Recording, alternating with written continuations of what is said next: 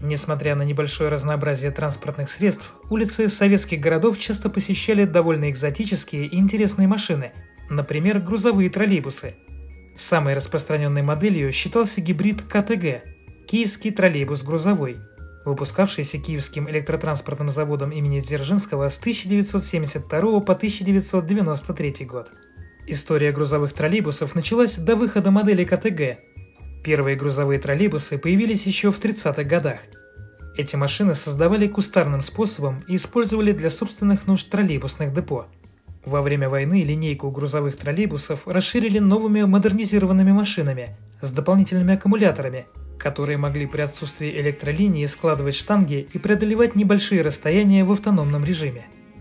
Позднее появились модели, которые дополнительно оснащали двигателями внутреннего сгорания, заменявшими при отсутствии сети электромоторы.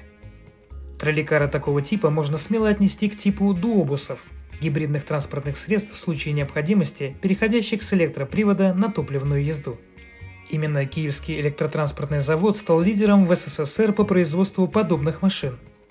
До начала 70-х годов Киевский транспортный завод выпускал пассажирские троллейбусы марки «Киев». В 1972 году по указу правительства предприятие перепрофилировали на производство исключительно грузовых троллейкаров. Первенцем линейки КТГ стала крытая модель типа фургон КТГ-1 – Синхронно с этой машиной киевляне производили бортовой троллейкар КТГ-2. Кроме этих двух экземпляров, предприятие производило следующие модификации. КТГ-4 – передвижная столовая. КТГ-5 – транспорт технической помощи. КТГ-6 – поливомоечная машина – КТГ-7 – сидельный тягач. Серийное производство отменили.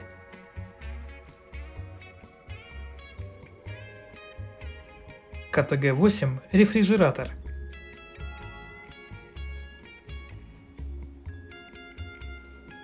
Фактически самыми распространенными были модели КТГ-1 и КТГ-2.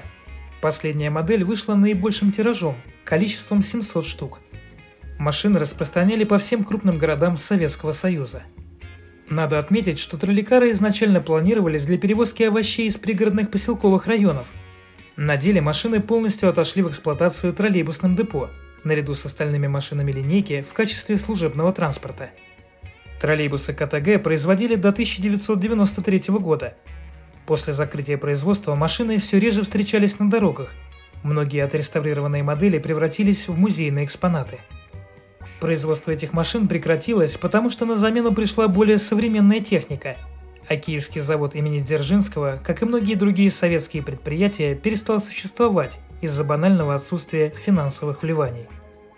Впрочем, утверждать, что киевские грузовые троллейбусы полностью исчезли с дорог, не совсем корректно, поскольку по сей день эти машины используются в 33 городах бывшего Советского Союза – Несмотря на снятие с производства, даже сейчас в потоке машин можно встретить КТГ, медленно едущие по своим служебным делам.